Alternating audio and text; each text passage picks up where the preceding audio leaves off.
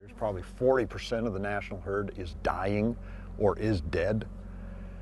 You know, if 40% of all the chickens in America died, you'd have politicians tub thumping up and down the Capitol and it'd be a national crisis. Bees, meh, you know, food comes from the store.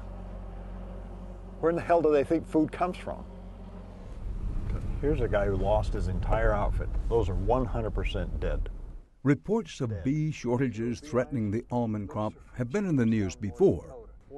And yet, the last couple of years saw California's largest yields to date, each 2 billion pounds. So, what's different about this year? Beekeepers tell us the unthinkable is happening.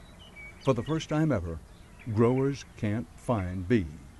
There are almond guys on the phone this morning who are in tears because they have no bees and they can't find any bees at any price.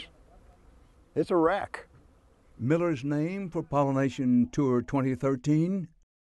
Death Rattle. We're not sustainable.